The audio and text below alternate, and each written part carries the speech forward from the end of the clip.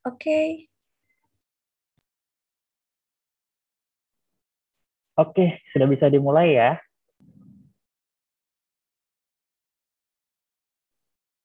Oke, okay, uh, eh, selamat siang teman-teman Binisian semuanya. Bagaimana kabarnya hari ini?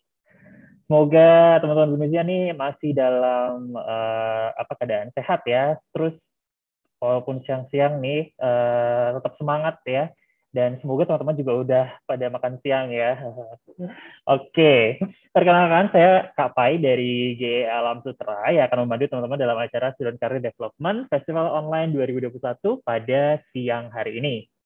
Nah, uh, teman-teman Binusian mungkin ada yang baru join uh, dan bertanya-tanya apa sih Student Career Development Festival Online 2021 itu? Nah, ini adalah kegiatan yang diadakan oleh tim Student Career Development Internship Center dan juga didukung oleh Employability and Entrepreneurship dari Kampus Alam Sutra, Bekasi, dan juga JWC. Nah, di festival online ini kita mengundang berbagai industri untuk sharing mengenai eh, hal-hal uh, yang terkait dengan di dunia kerja.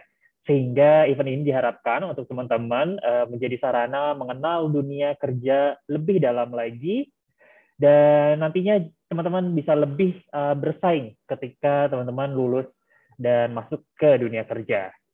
Nah, sebelum kita mau mulai, uh, ada beberapa poin penting nih yang saya mau sampaikan kepada teman-teman BINUSN sekalian.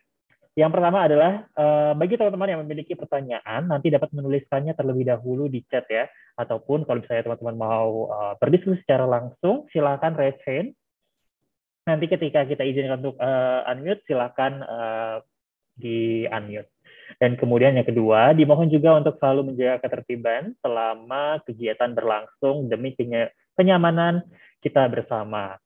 Supaya nanti uh, eh, gak ada suara-suara yang bocor, pastikan mic-nya termute ya.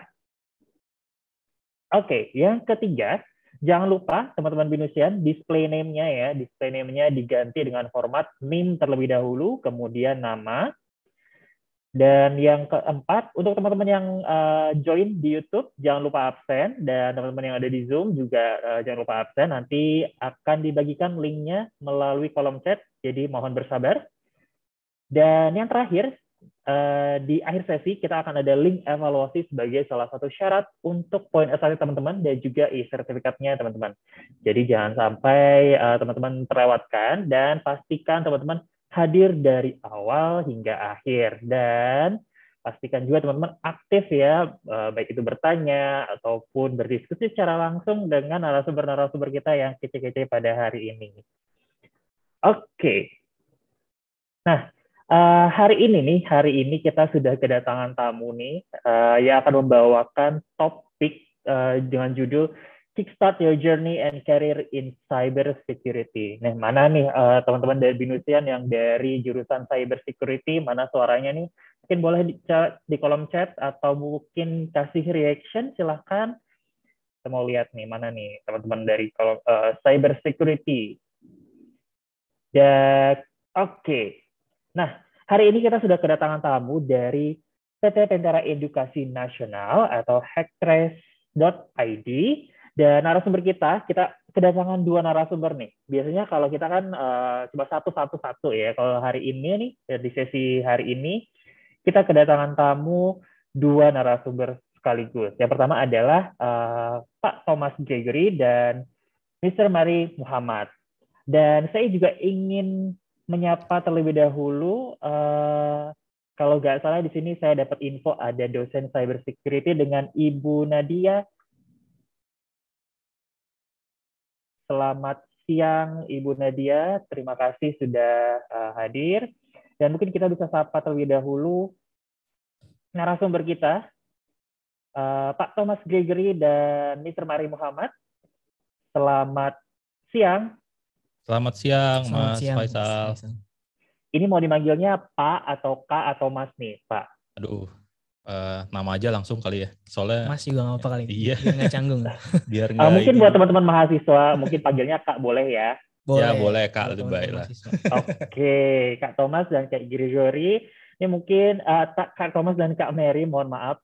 Uh, mungkin tanpa berpanjang lebar lagi uh, untuk waktu dan tempatnya kami persilahkan untuk memulai seminar. Silakan. Oke, Saya share screen dulu ya. Oke. Ya, selamat siang semuanya. Uh, peserta dari webinar kali ini dari BINUS, teman-teman mahasiswa dan uh, para dosen. Selamat siang, kami dari Spentera ya. Mungkin tadi agak typo sedikit uh, Pentera, tapi di sini sebetulnya ada S-nya di depan, jadi PT Spentera. Itu bersama saya Mari Muhammad dan di sebelah uh, saya ada uh, Thomas Gregory. Thomas. Iya, kakak. Boleh, boleh, boleh. Udah lama nggak dipanggil kak ya. Oke, topik uh, hari ini yang kita akan bawakan uh, itu adalah Journey and Career in Cyber Security. Jadi di sini kita akan bahas uh, fokus untuk uh, berkarir di bidang uh, cyber security. Dan untuk uh, berkarir di bidang cyber security uh, selama kita berjalan ya, itu enggak sebenarnya enggak harus dari jurusan cyber security. Iya. Jadi ada juga yang dari jurusan lain tiba-tiba uh, beralih ke cyber security juga. Benar. Di kantor kita ada yang ini ya, enggak bukan dari cyber Iya, security bahkan ada bahkan. yang dari uh, ekonomi juga ada. Ada iya. Jadi sebenarnya nggak menutup kemungkinan gitu ya. Iya, buat jurusan lain bisa uh, terjun di bidang cyber security. Nah, uh, company overview sedikit untuk Spentera. Uh, kita sebagai Spentera Group yang pertama berdiri di 2010. Jadi kita um, perusahaan Spentera ini berdiri di 2010, kemudian terdaftar di sebagai perseroan terbatas di 2011 dan sampai saat ini sudah kurang lebih 10 tahun. 10 tahun. Ya. Dan bisnis fokus kita memang hanya di uh, services atau jasa itu ya, jasanya yang awalnya yang kita uh, pertama kali berdiri adalah sifatnya ofensif semua. Jadi kegiatan uh, jadi kalau mungkin uh, biar apa namanya uh, familiar ya sebutannya hacking tapi Iya hacking. Hacking yang sah ya, apa yang di, disahkan atau di, diperbolehkan lah. Betul. Jadi kalau di sini kelihatan ada uh, technical expertise and professional services kita, ada vulnerability assessment, kemudian penetration test gitu ya. Itu adalah kegiatan hackingnya. Betul. Dan uh, ada juga threat hunting, ada intrusion analysis, ada incident response, ada computer forensik gitu ya. Kemudian sampai dengan uh, compliance audit untuk uh, beberapa company dan red team assessment. Mungkin yang paling uh, familiar sekarang uh, red team. Red team ya. Red team, blue team, ada purple team. Iya, kayak warna-warna itu ini lebih sering terkenal sekarang. Nah, uh, Spentera Group sendiri fokus di uh, jasa, services, khususnya di cyber security dan di luar uh, bisnis fokus kita, kita juga melakukan uh, research and development. Research and development itu juga terkait dengan uh, cyber security tentunya. Dan uh, di tahun ini kita sudah uh, karena ini udah jadi Spenta Group ya. Di bawah Spenta Group ada sudah ada beberapa perusahaan lagi yang kita pisah jadinya. Yang tadinya ada uh, ofensif dan uh, defensif jadi satu, ini kita pisah. Jadinya yang untuk yang defensif sekarang kita juga udah ada yang namanya dua rapala. Jadi uh, di cyber security itu sebetulnya sangat luas. Iya, luas banget. Jadi uh, bisa di role-nya itu bisa di uh, mana aja sebetulnya. Betul. Mau kita menyerang, mau kita bertahan, mau kita sebagai uh, regulator ya cuma ngecek-ngecekin Iya. dokumen ini udah sesuai atau deng dengan compliance dengan regulator atau belum.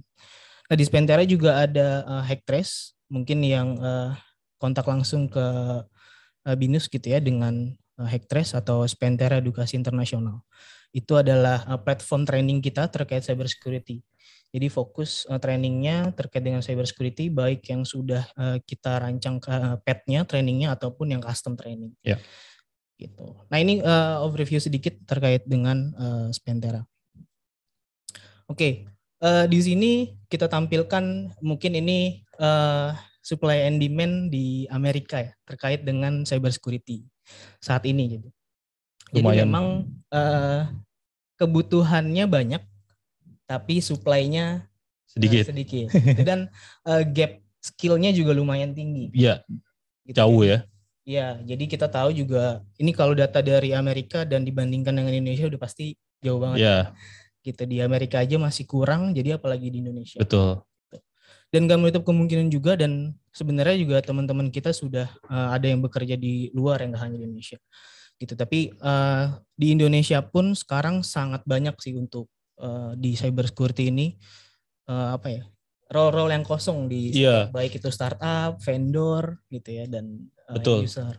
Dan em, sebenarnya minatnya udah mulai ada ya, mulai kelihatan. Cuman memang uh, banyak yang masih bingung uh, areanya tuh uh, seluas apa sih gitu kan. Ya. Terus uh, untuk jadi seorang cyber security itu mesti mesti apa gitu kan. Terus uh, tadi kan dibilang ya Mar, uh, banyak apa cyber security itu banyak uh, apa namanya uh, jurusan lah maksudnya ya. kita bisa bisa masuk mana aja.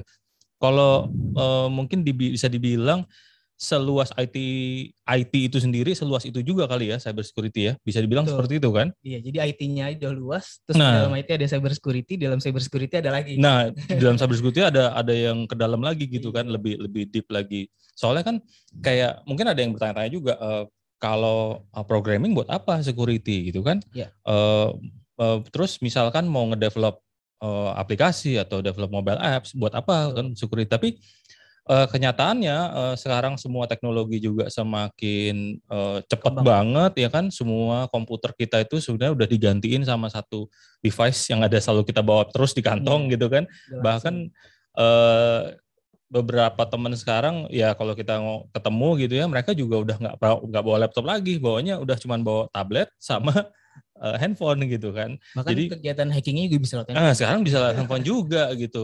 Bahkan kalau teman-teman yang mungkin nanti kita ada bahas ya terkait dengan uh, defender gitu ya, ada yang mau monitoring uh, asetnya yang ingin kita butuh monitoring gitu ya, itu bisa juga di push notification ke handphone. Jadi kita juga nggak perlu ngecek via email atau uh, dari oh. laptop. Jadi memang uh, kebutuhannya, kebutuhannya banyak. Uh, luas, uh, butuh banget gitu ya, secara demand tinggi, tapi secara supply kurang gitu. Masih kurang gitu. Jadi uh, sebetulnya di sini kita juga pengen uh, encourage teman-teman buat jangan takut buat terjun ke dunia cyber security karena biasanya sih ada yang takut duluan, takut kayak kerjanya susah gitu. Iya, iya. Kita sebetulnya sih sama ya kayak teman-teman misalkan yang suka dengan ngoding, terus suka network. Nah itu kalau udah punya basic itu sebetulnya untuk ke cyber security akan lebih cepat biasanya belajar. Iya benar. Mungkin nggak takut kali ya Mar. Lebih apa ya? Karena nggak tahu kali ya. Jadi iya. Iya. Jadi apa? Eh, ragu gitu mau ke sini atau enggak sih gitu kan. Belajarnya apa sih sebenarnya gitu. Oke. Nah eh, kalau kita eh, ini secara simple ya kategorinya. Ini kita bikin tiga kategori nih kalau di dalam cyber security. Yang pertama ada ofensif, Terus di tengah-tengah ada governance, kemudian ada defensif sebagai orang yang bertahan. Gitu. Nah, dulu biasanya yang ofensif ini kegiatannya ilegal. Itu hacking ya, yeah. blackmail, terus uh, carding gitu ya, uh, nyolong kartu kredit orang, orang dan lain-lain. Nah, tapi uh, semakin ke sini kita udah punya regulasi itu dari peraturan uh, Bank Indonesia dan OJK ya untuk industri finansial setiap aplikasi yang kita gunakan nih yang teman-teman pakai nih misalkan teman-teman pakai internet banking, mobile banking di handphone, sebelum teman-teman bisa pakai itu harus kita uji dulu keamanannya. Iya. Yeah. Gitu. Jadi kalau kita udah uji baru boleh dipakai sama teman-teman semua. Iya. Yeah. Nah, itu udah jadi uh, peraturan regulasi di Indonesia. Makanya uh, untuk uh, melakukan kegiatan tersebut uh, demandnya itu sangat tinggi karena setiap aplikasi yang di yang dimiliki sama bank itu semua harus kita uji sebelum dipakai sama uh, semua orang di Indonesia. Artinya uh, udah bergeser ya. Uh, dulu kan dianggapnya merusak gitu kan, oh. uh, dianggapnya uh, jahat gitu kan. Cuman uh, mungkin uh, negara atau ya mungkin mungkin nggak negara lah ya, tapi beberapa orang melihat bahwa aktivitas ini dibutuhin tetap karena kan Betul uh, kita mesti ngetes sistemnya gitu kan bukan bukan kita cuman uh, deploy application atau deploy sistem habis itu uh, kita jalanin udah gitu kan tetap harus dites diuji uh, supaya dapat mindsetnya si si penjahat lah ibaratnya kita Betul. dalam tanda kutip jadi gitu. uh, ibaratnya sengaja dihack sengaja dihack uh, untuk uh, well proof su uh, supaya proven gitu kan Betul. kan secara uh, security-nya ya walaupun kita juga tahu kita juga sadar semua penggiat IT security bahwa tidak ada sistem yang 100% aman Betul. Jadi kalau dengar isu-isu ada bank A ke hack gitu ya, itu sebenarnya ngelihatnya harus lebih jauh tuh. Ini ke hacknya eh, resikonya sejauh apa? Betul. Bukan kontak ke hacknya doang. Gitu. Iya. Dan apa yang kena hack gitu kan? Iya. Maksudnya elemen yang mana? Karena biasanya kalau kita ngomongin cyber security itu emang dibagi tiga juga. Ada people, ada proses, ada teknologi. Yaitu uh, salah satu elemen yang memang uh, ngikat ke semua uh, segi ya, nggak cuma cyber security, di semua segi sih. Oke. Nah, untuk penjelasan sedikit untuk yang dari kategori ini di bidang ofensif ya tentunya. Uh, di Spentera sendiri kita udah ada vulnerability assessment, penetration testing, social engineering dan red team assessment sebetulnya. Nah, uh, mungkin buat gambaran teman-teman nih untuk vulnerability assessment. Ini sesuai judulnya kita melakukan uh, akses terhadap kerentanan suatu aplikasi. Jadi kalau kita analogikan sebagai uh, misalkan rumah gitu ya, kita baru buat rumah, kita lihat dulu nih rumah kita butuh apa aja untuk diamankan. Misalkan, oh belum ada pagarnya nih, kita harus tambah pagarnya. Hmm. Kemudian pagarnya udah ada tapi belum ada gemboknya, kita harus beli uh, gemboknya dan lain-lain. Nah untuk penetration testingnya sendiri itu adalah uh, melakukan eksploitasi lebih dalam. Contoh udah ada pagarnya, kita ukur nih pagarnya tingginya semana bisa kita loncatin atau enggak? Hmm. gitu. Kemudian oh udah ada gemboknya. Gemboknya kita coba uh, break gitu ya kita hancurin bisa atau enggak sekeras apa?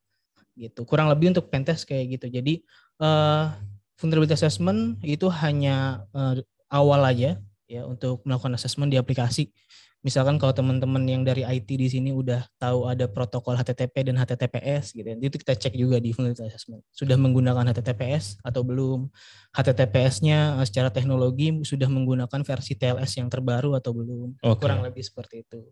Nah, untuk pentestnya kalau diaplikasikan eh, di aplikasi itu biasanya kita ngelihat nih uh, bisa nggak sih kita tarik data semua orang yang ada di yang terdaftar di aplikasi tersebut gitu tiba-tiba datanya bisa kita curi atau enggak kurang lebih seperti itu atau uh, contoh ya yang misalkan kalau di bisnis logic gitu ya di aplikasi mobile banking deh bisa nggak sih kita transfer ke orang lain tapi pakai uh, milik uh, duit oh. orang lain gitu kan berarti itu itu termasuk pentes ya pengujian. termasuk termasuk yang diuji iya jadi nanti di pengujian itu ada checklistnya sebetulnya tapi uh, juga dibutuhkan uh, out of the box thinking lah dari uh, pengujinya. Nah itu yang harus di-create di laboratorium nanti ada kita jelasin. Oke. Okay.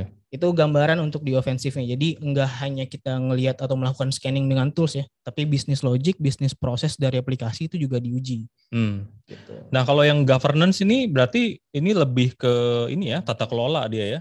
Ya untuk dia yang lebih... governance ke tata kelola. Jadi uh, mungkin kalau yang levelnya masih teknis banget nggak ter, nggak terlalu mentingin ini nih yeah. teman-teman di sini biasanya nggak terlalu mentingin yeah. karena ini bentuknya dokumentasi ya jadi Tapi ada juga yang suka sih kok Ya, mungkin ada yang yang senang juga ya dengan yeah. tata kelola karena senang dengan keteraturan gitu ya. Betul. Jadi memang uh, governance ini dia lebih ke uh, modelnya tata kelola di organisasi. Jadi penerapan uh, di struktur organisasi itu seperti apa. Tapi hubungannya tetap dengan security. Betul. Jadi kayak misalkan uh, kan ada ya kalau misalnya kita di ya teman-teman yang di binus juga pasti kalau ke ke kampus itu kan pasti ada ada batasan-batasan lah. Nggak boleh masuk sembarangan ke ruang dosen gitu kan. Nggak boleh ngerokok di tempat uh, tertentu misalkan. Terus uh, kalau mau connect ke jaringan uh, kampus kan pasti ada pemisahan tuh antara jaringan kampus iya. sama jaringan internal uh, ya. kampus gitu wifi, kan. Wifi uh, publik nggak uh, sama dengan wifi yang punya. Betul. Uh, nah model mo betul. Terus ada dong pemilihan uh, akses kan, permisahan lah. Ada yang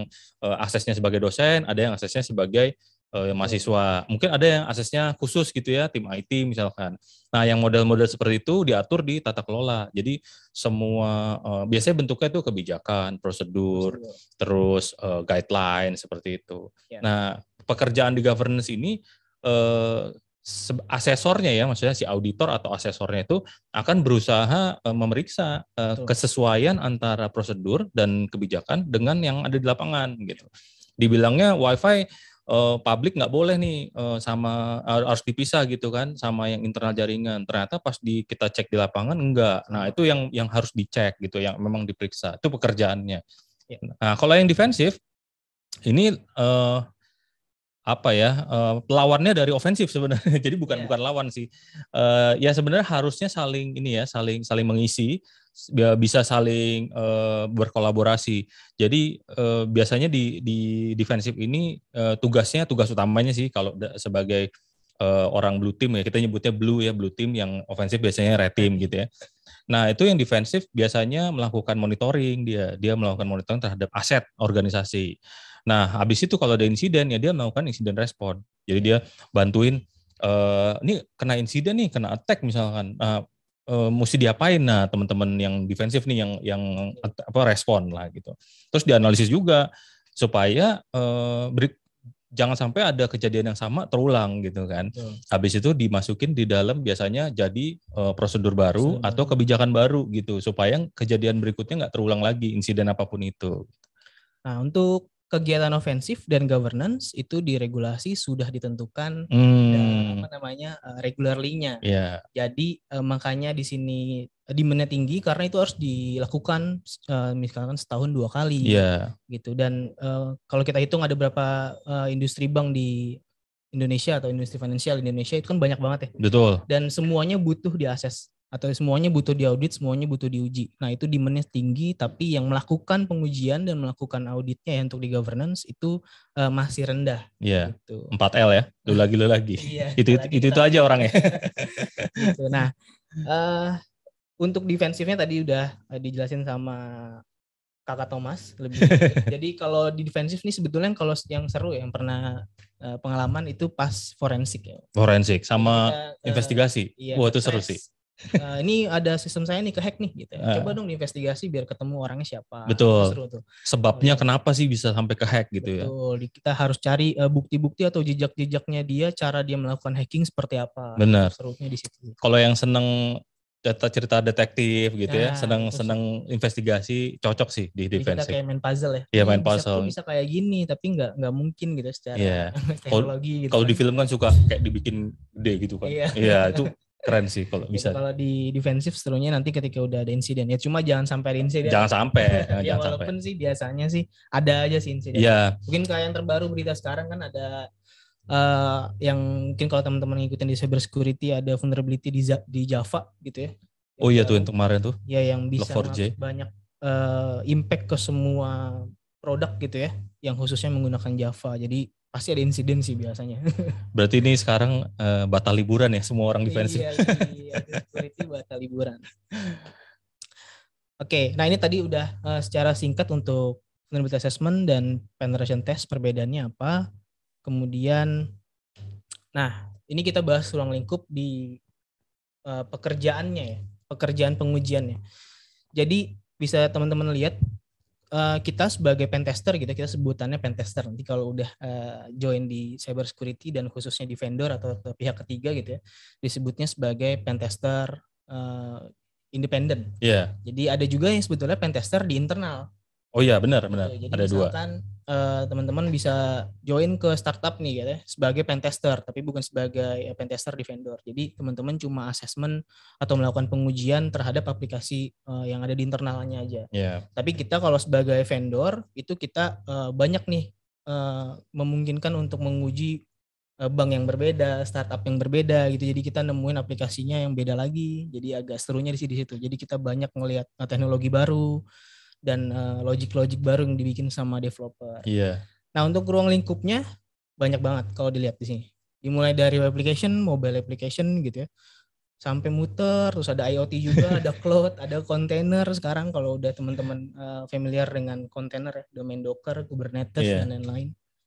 Nah ada ATM juga, ada EDC juga sebetulnya, ada voice juga. Kalau voice itu bisa diapain sebetulnya? Ya itu kalau voice itu biasanya voice tuh kalau kita ada di uh, biasanya sih hanya untuk verifikasi ketika uh, kita nelpon atau mengganti mengubah data di satu uh, bank gitu ya. Ya biasanya ada verifikasi voice. Nah itu ada, ada sistem yang automa automated untuk verifikasi voice kita udah dengan orang yang tepat tepat atau belum. Nah itu bisa di spoofing, bisa dimanipulasi atau tidak. Nah itu yeah. kita, kita uji seperti itu.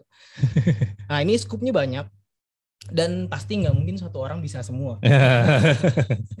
Gitu ya mungkin ada ya. Satu orang bisa semua atau paham secara general untuk semua ruang lingkup gitu. Tapi eh, nggak mungkin bisa dalam semuanya. Gitu nah makanya di sini uh, demandnya banyak banget dan supply-nya uh, tinggi. Dan uh, di sini juga teman-teman sebetulnya bisa milih kalau uh, maunya di yang mana gitu lebih lebih dalamnya. Hmm. tapi kita sarankan memang secara general teman-teman bisa bisa paham. Bisa paham untuk ruang lingkupnya. Karena gini, uh, cyber security itu kita nggak bisa uh, tahu atau apa ya uh, paham spesifik boleh, tapi kita juga harus paham secara uh, generik itu at least uh, ya tahu sebagian, uh, tahu semua tapi nggak harus deep gitu. Betul. Uh, abis itu tinggal kita pilih kita mau deepnya specialize di mana. Karena uh, pada ujungnya kalau kita uh, tetap bisa pilih dua, nanti uh, mungkin di di slide yang berikutnya ada. Mau pilih kita sebagai orang uh, yang berkarir gitu, atau mau kita specialize gitu, orang yang yang fokus gitu kan. Hmm. Kalau yang mau fokus ada memang jurusannya sendiri uh, areanya ya udah tinggal fokusnya di, di area itu. Researcher jadinya. Iya, jadi bisa sampai researcher, bisa sampai ya benar-benar fokus di area itu, bisa menciptakan produk juga ujung-ujungnya. Kalau yang uh, structure base atau struktural ada juga biasanya itu uh, ada karir path-nya. Nanti biasanya ujung-ujungnya mentok-mentoknya jadi CISO. Oh. Kalau mau lebih tinggi ya bikin company, jadi hmm. owner. gitu. Oke, nah ini untuk ruang lingkup di kegiatan ofensif ya. Jadi kalau tadi teman-teman uh, tertarik di cyber security khususnya penetration tester, ini kurang lebih skupnya yang akan dihadapi. Iya. Tapi bukan berarti tiap hari ketemu banyak ini gitu. Kadang-kadang nih nanti, tapi yang paling sering ya sekarang yang udah pasti adalah web application, mobile application. Itu udah yeah. pasti gitu. Jadi teman-teman harus bisa melakukan ya kita sebutnya hacking di web application dan mobile application. Ini kita nggak nyebut untuk hacking akun sosial media ya. Iya, itu, di luar di luar scope. gitu. Jadi ini uh, kita untuk mengamankan uh, semua aset yang dimiliki oleh uh, startup, yeah. industri-industri yang ada di luar sana. Gitu. Nah, uh, kita lanjut di setelah ruang lingkup. Waduh. Nah, ini pusing nih. Jadi gini, kalau di cyber security itu karena kita uh, deliverables-nya adalah services ya, jasa. Itu bukan kayak barang ya. Barang kan proven gitu ya, ada barangnya kelihatan terus terbukti bisa nyala gitu. Iya. Yeah. Nah, kalau jasa itu nggak terbukti kan. Betul. Gak tahu nih orang capable atau enggak. Betul. Gitu kan. Uh, menilainya gimana gitu? Menilainya gimana? Apakah diri pengalaman atau enggak? Kalau CV ya ya CV kan semua orang bisa nulis. Ya yeah, bisa ditambah-tambah ini iya bisa drama juga di CV gitu nah uh, di sini sebetulnya kita bukan mewajibkan tapi lebih baik memiliki sertifikasi. Karena itu sebagai proof bahwa teman-teman itu capable di industri kita. Mm -hmm. gitu. Nah untuk sertifikasinya ini banyak banget sebetulnya ya. Dari kalau dilihat mungkin di sini kekecilan ya di layar ya. Nah ini kalau kita zoom sedikit khusus di ofensif gitu ya. Dari penetration tester itu kalau kita uh, lihat dari bawah itu ada C ya. Teman-teman pasti udah familiar banget dengan C apalagi yang di sini jurusannya cyber security. Cyber security itu adalah certified uh, ethical hacker. Kemudian biasanya naik lagi ada sampai dengan terakhir ada OSCE. Itu dari offensive security. Nah, uh, sebetulnya ini lebih ke preferensi ya. Preferensi benar. Pilihan pilihannya teman-teman. Selera, selera. Mau mau ngambil yang mana? Karena ada juga yang harganya terjangkau, ada juga yang Jet set. mahal banget, mahal banget gitu. Tapi ini sesuai dengan kebutuhan ya. Nah, tapi kita mau infoin kalau di uh, kita engagement ke klien gitu ya, kita uh, deliverables-nya itu kita biasanya ada requirement pentesternya harus memiliki sertifikasi tertentu. Betul. Gitu. Memang dulu 2015 ya mungkin ya itu minimal C Gitu, tapi sekarang udah bergeser semakin berkembang minimal itu udah sampai di OSCP. Iya. Kenapa kayak gitu ya? ya mungkin salah satu alasannya untuk yang OSCP memang uh, untuk ujiannya lebih praktikal daripada yang C. Hmm. Sama salah satu penilaiannya. Uh, sama ini juga nggak sih uh, aplikasinya kan makin lama makin harden kan, makin karena developer pasti kan setiap setiap hari ya mungkin nggak setiap hari ya uh, setiap beberapa saat yang yang bikin aplikasi kan mungkin programmernya kan dites terus kan sejak ada yang ngelakuin pretest terhadap aplikasinya. Lama-lama si developer juga makin jago. makin jago. Gitu. akhirnya mungkin butuh uh, skill lebih kali ya. Iya nah. gitu Nah, tapi untuk awal uh, mungkin kalau dari jurusan cyber security udah punya partner sendiri gitu ya untuk ngambil sertifikasi, mungkin itu sangat rekom rekomen lah untuk diikutin gitu ya, untuk dapetin sertifikasinya. Kemudian setelah itu next stepnya itu bisa milih tuh, hmm. nanti bisa nanya kita juga lebih uh, mau yang bagus tuh apa, bebas. Nah, tapi di uh, Spentera sendiri ketika uh, junior uh, pentester masuk ya, jadi memang kita untuk rekrutmen selalu dari junior. Kita belum pernah rekrut yang langsung senior, middle dan lain-lain. Kita yeah. memang rekrutnya yang fresh graduate atau yang masih fresh lah, fresh from the oven lah gitu. Baru matang ya. Iya. masih fresh kita tarik karena uh, kita di sini belajar bareng-bareng dan targetnya adalah OSCP. Yeah. Gitu. Jadi junior pentester di kita harus bisa dapetin OSCP sesuai dengan waktu yang udah kita tentukan nanti ya. gitu. Ada karir petnya ya? Ada karir petnya nanti di akhir juga ada kita tunjukin sedikit karir pet yang ada di internal Spentera. Nah, okay. kalau di ofensif kayak gitu, defensifnya gimana? Defensifnya. nah, ini defensifnya nih mungkin dari Kakak Thomas bisa. Nah, jadi di defensif itu nah ini apa ya? Sayang sekali uh, sertifikasinya agak-agak mahal ya. Maksudnya Betul. secara preferensi yang yang berkualitas gitu ya, yang berkualitas yeah. tuh memang lumayan uh, mahalnya. Nah, mahal ini relatif ya. Uh, menurut saya sih, menurut kami, menurut kami mahal. Iya. Jadi uh, mungkin uh, kita bisa, mungkin teman-teman yang tertarik uh, biasanya uh, bisa belajar mandiri dulu kali ya. Terus nanti mulai pelan-pelan ngambil yang dari isi council boleh dari CND nanti mungkin naik ke uh, yang e-learn. Itu juga uh, sebenarnya preferensi selera. Karena memang secara uh, materi semuanya bagus. Cuman memang yang praktikal dan um, well proof bukan yang well proven lah apa ya well known lah ya di di industri itu banyak yang ngambil dari SANS atau uh, GIAC kita nyebutnya. Nah dari bawah itu sebenarnya ya uh, fundamental sih, nggak nggak harus yeah. Ya. uh, langsung jago gitu. ya.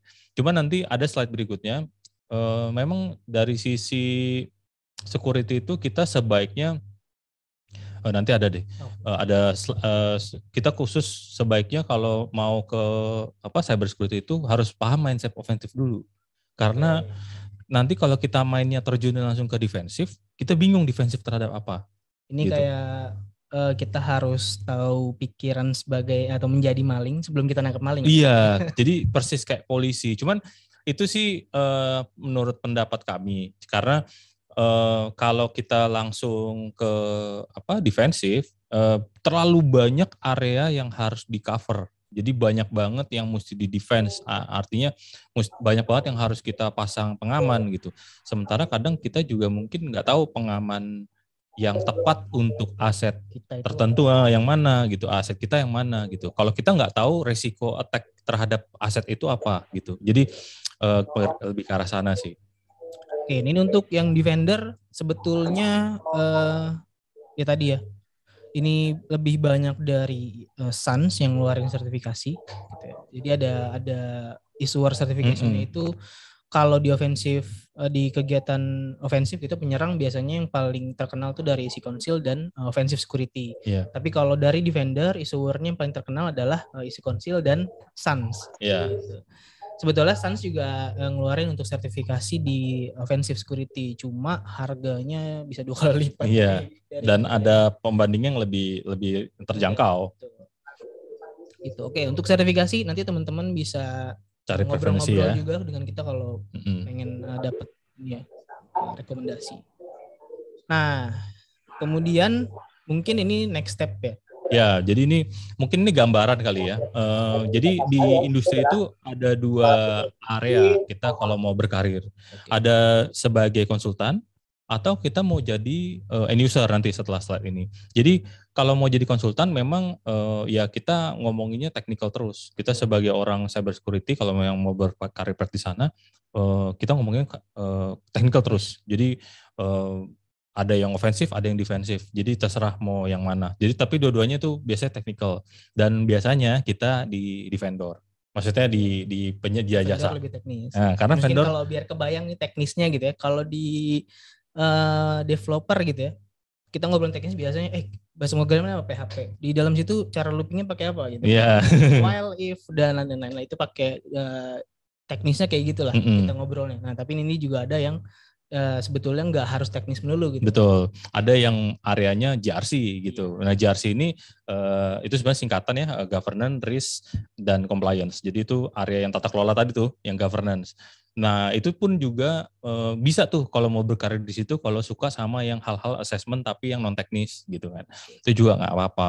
Jadi banyak areanya yang memang sebenarnya kalau mau milih itu bisa bisa banyak gitu. Nah, karir yang e, ideal ya ini bukan ngeracunin. Yang ideal kalau mau berkarir di cyber security pertama-tama jangan ke user dulu karena biar mupuk pengalaman di vendor di atau di penyedia jasa. Teknisnya udah mumpuni. Gitu. Iya, teknisnya udah mumpuni. Kenapa? Karena kalau di end user biasanya end user itu sistemnya udah udah jadi gitu, udah well built, ya udah udah ter, udah terbentuk gitu. Jadi kita nggak ada nggak ada experience untuk nyobain mes, uh, apa sistem lain gitu.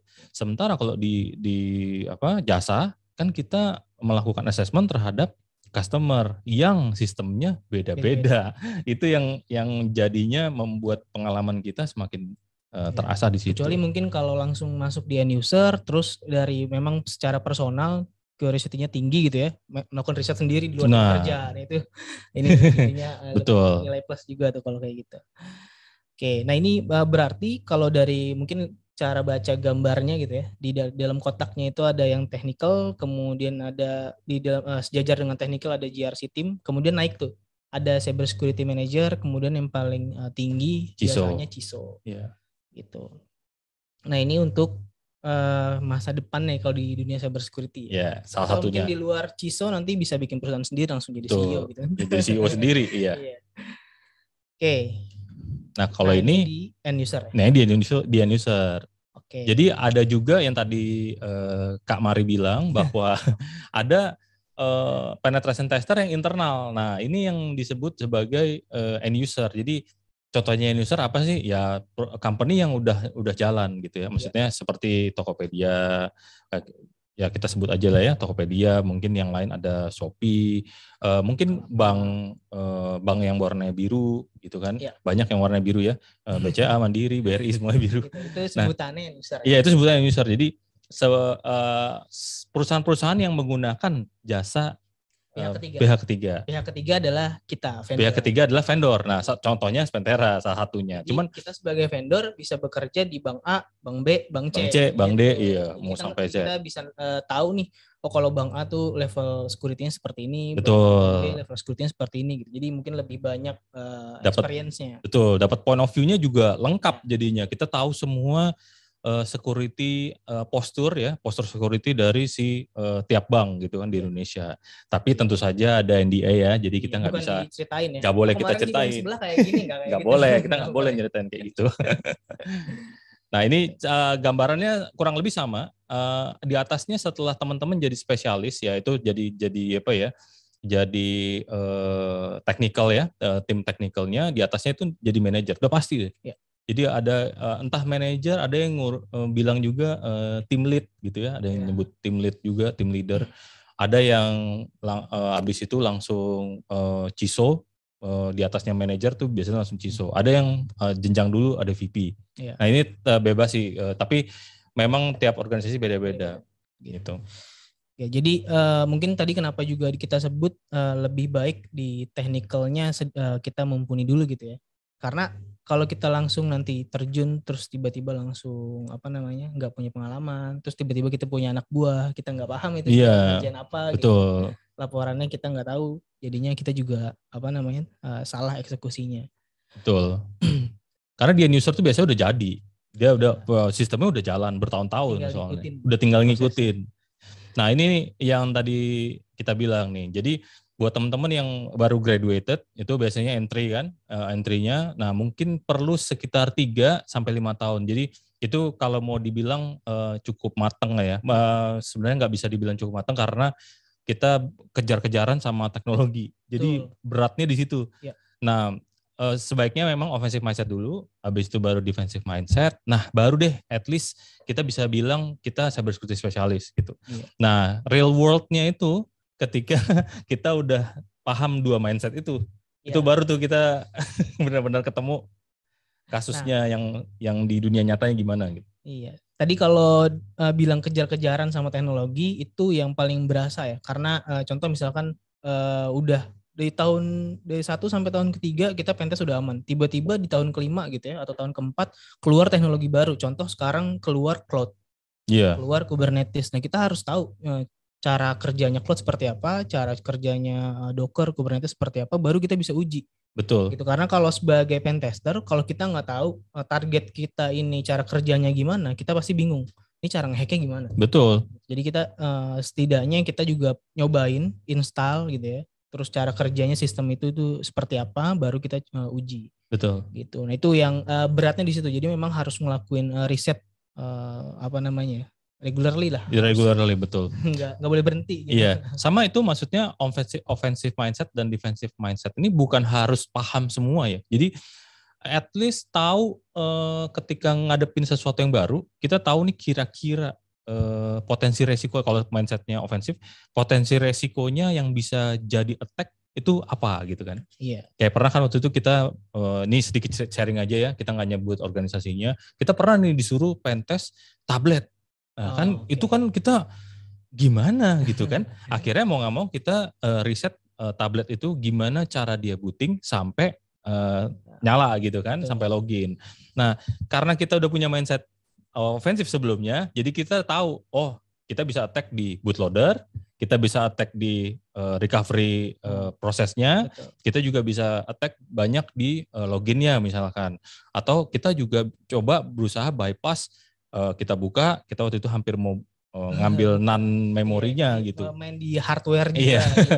Jadi uh, memang uh, kalau udah punya mindsetnya itu akan lebih enak ngejalaninnya. Jadi kita juga kalau dihadapin sesuatu yang baru langsung tahu gitu. Contoh kalau mungkin kalau yang dulu itu kan EDC belum pakai Android ya. Nah sekarang yeah. disuruh melakukan tes, ini EDC sekarang pakai pakai Android gitu. Terus Betul. ujinya gimana? Itu kita harus riset. Jadi nggak nggak ada bisa aja kalau di vendor ya eh, nggak akan ada uh, panduan yang utuh gitu. Kita, jadi ada, ada suatu saat nanti di mana ruang lingkupnya itu sama sekali nggak pernah ada yang uji. Iya, dan betul. kita pertama kali yang melakukan itu dan kita harus riset. Betul. Gitu. Kurang lebih gitu ya. Ini kayaknya waktunya Iya, kayaknya masih agak cepat. Speed up nih. nah, okay. ini dari sisi future career path nih, kan tadi kan kita pas dia bilang kita udah jadi cyber security spesialis, nah kalau masuk di organisasinya bentuknya udah kayak gini nih nanti. Jadi hmm. entah mau di vendor atau mau di end user, posisinya kita udah jadi spesialis gitu. Nah tinggal ngelanjutin ya mungkin ada yang tiga step atau dua step untuk sampai di VP cyber ya. security yeah. gitu, atau mau sampai CISO mungkin empat step gitu. Oke, ini lima, biar ada, lima tahun plus plus gitu. Ya, biar ada gambaran lah. Hitung tuh kalau teman-teman nah. fresh graduate udah lulus dari binus gitu ya, langsung kerja. Betul. Udah kehitung di uh, langkah yang mana. Oke, uh, tadi untuk kategori dari pekerjaan ya, ruang lingkup Betul. yang uh, akan diuji kalau nanti teman-teman uh, di, ada di bidang cyber security khususnya pentester dan ada di defensif dan atau mungkin tadi tata kelola juga sudah kita contohin gitu hmm. gitu ya. Nah ini khusus yang di ofensif. Jadi uh, gini ya, tadi kan ada kita selalu nyebut ada offensive mindset, hacker mindset dan lain-lain. Itu sebetulnya uh, latihan, ya. gitu ya. Jadi semakin banyak kasus yang kita hadapi, semakin banyak aplikasi yang kita sudah berhasil hack gitu ya. Itu semakin uh, terasa. Iya berasa lah kebuka mindset kita. Oh ternyata tuh hacking uh, seperti ini dan kalau ketemu misalkan ya ketemu WordPress tuh kayak gini ketemu Joomla tuh kayak gini ketemu apalagi banyak ya itu pasti kayak gini. Yeah. kita udah udah paham uh, pattern-patternnya. Nah itu dilatih. Untuk latihnya kan nggak mungkin ya teman-teman itu ngehack secara ilegal. Iya gitu. itu dilarang nggak boleh. Udah dilarang lah kita eh, nggak uh, nggak boleh menyarankan itu juga. Nah di sini kita sebetulnya dari Spenter Edukasi Internasional itu udah punya ya lab yang legal untuk teman-teman bisa uh, simulasi hacking secara langsung. Iya. Yeah. Gitu. Jadinya kita punya hack trace, uh, hack trace range namanya. Jadi uh, bisa diakses langsung sekarang hacktrace uh, range.id. Teman-teman bisa sign up di situ free uh, lifetime. Lifetime. Di situ nanti teman-teman bisa connect ke VPN, kemudian ada nanti ada alamat IP targetnya itu bisa teman-teman coba, coba langsung attack gitu dengan yeah. cara teman-teman sendiri terserah. Yeah. Nanti sebenarnya juga ada forum discussionnya itu kalau bingung caranya seperti apa dan lain-lain. Minta clue ya kak. itu juga. Nah uh, kita udah punya labnya sendiri kita sediain. Jadi kalau teman-teman mau coba silakan ya. Ini kita info biar apa namanya di teman-teman binus juga kalau mau nyobain bisa langsung. Betul. Nah, se ini yang ada di Indonesia, kebut uh, yang mungkin baru kita kayaknya. Iya, kayaknya sih baru kita. Ada sih beberapa, cuma mungkin um, community level ya. Okay. Maksudnya bukan kalau kita kan company level. Oke. Okay. Ya. Dan uh, di Hacktrace Range itu uh, mesin atau targetnya akan selalu update setiap satu bulan. Jadi setiap satu bulan itu pasti ada target baru atau mesin baru. Jadi ada, ada kasus ya. baru. Gitu. Dan di situ nanti ada peringkat, ada dan lain-lain ya. Ada juga mungkin nanti ada akan ada reward dan lain-lain. Ke depannya nanti ada poin. Ya. Iya. Nah untuk yang udah uh, beredar ya atau sudah lama di ada di apa namanya di internet yang publish uh, selain Hacktrace Range ini kalau yang di luar Indonesia itu ada dia di bawahnya bisa coba juga di try hack me, Forswigger, Hack the Box dan Pentester Lab ya. Oke. Okay. Nah, ini kita udah mau uh, habis nih ya. Sesinya. Di sini kita ada suggestion buat teman-teman yang mungkin tertarik ya uh, masuk atau terjun di dunia cyber security. Ini suggestion dari kita untuk terjun di bidang cyber security baik itu ofensif ataupun defensif. Mm -hmm. yang kita utamakan atau yang kita apa namanya uh, sebagai fundamental teman-teman lah. Betul. Harus paham OSI 7 layer. Karena di setiap layernya uh, bisa memungkinkan terjadi serangan. Betul. Gitu. Kemudian ada uh, basic Linux gitu ya. Uh, bukan berarti nggak bisa hacking dengan Windows, sangat bisa karena juga saya melakukannya dengan Windows. Dan uh, tapi Linux kenapa diperlukan? Karena teman-teman nanti target servernya mayoritas juga Linux. Kebanyakan Linux ya. Iya, jadi nanti uh, server yang digunakan sama uh, yang pembuat aplikasi atau siapa pun itu biasanya mayoritas tuh Linux. Nah, gimana caranya kita ngehack sistem itu kalau kita nggak pernah sama sekali megang Linux, megang Linux gitu kan? Betul. Gitu. Mungkin kalau Windows kan nggak nggak nggak kita sarankan karena emang udah uh, operating system sehari-hari. Iya. Gitu. Nah, kemudian ada kita uh, suggestion buat teman-teman buat belajar juga cara server dan aplikasi bekerja. Jadi setidaknya teman-teman udah pernah bikin server, web server gitu ya. Kemudian udah install juga Aplikasi. aplikasinya. Misalkan install WordPress, kalau di Windows bisa pakai apa namanya HT apa SAMPP gitu ya. SAMPP benar. Kalau di Linux bisa pakai Apache, Nginx dan lain-lain. Itu uh, dipahami aja cara bekerjanya seperti apa dan lain-lain.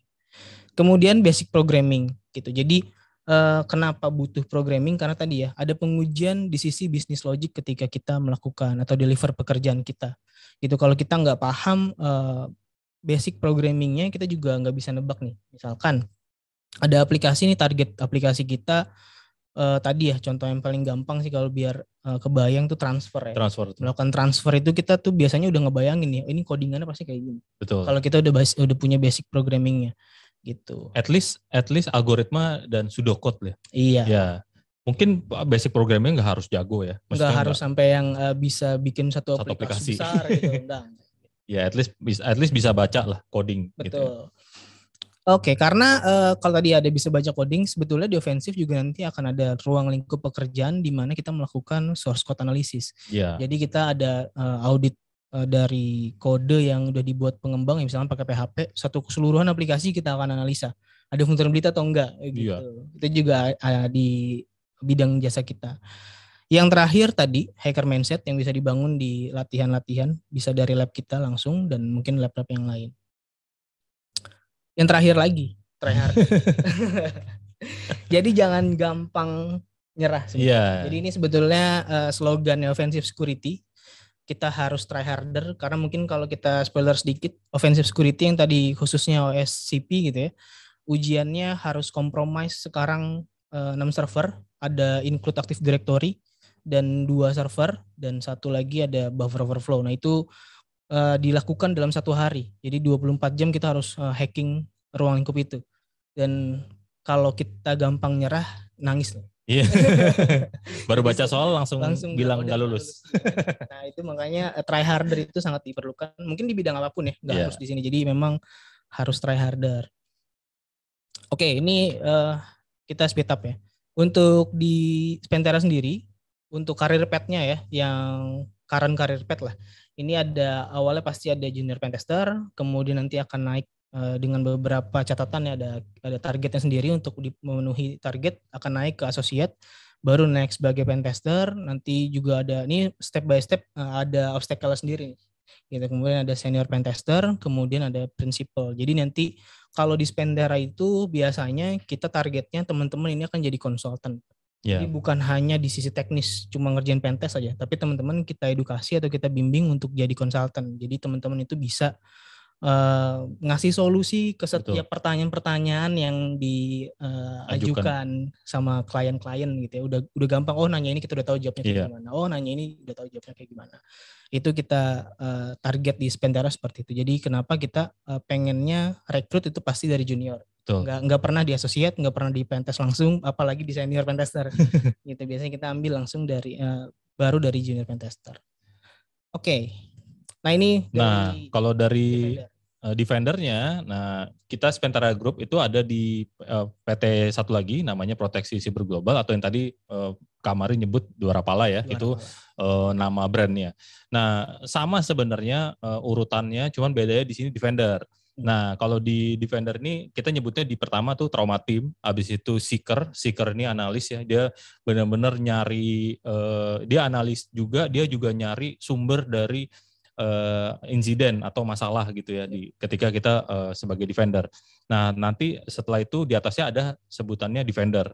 Nah, kita apa ya menyematkan semacam uh, label labelnya guardian karena okay. uh, sebutan, sebutan slang, lah slang. Uh, slangnya di internal, ya. uh, di internal. Tapi ini nggak berlaku di luar ya, maksudnya uh, Kalau berlaku tadi di internal. di Pentester ada key associate, ada yeah. hacker itu tiga satu tiga tiga tujuh itu bacanya elit ya. Iya, yeah, elit. Elitnya di bintang satu, ada elit bintang dua, itu yeah. paling tinggi di kita. Ada pangkat tuh ya berarti.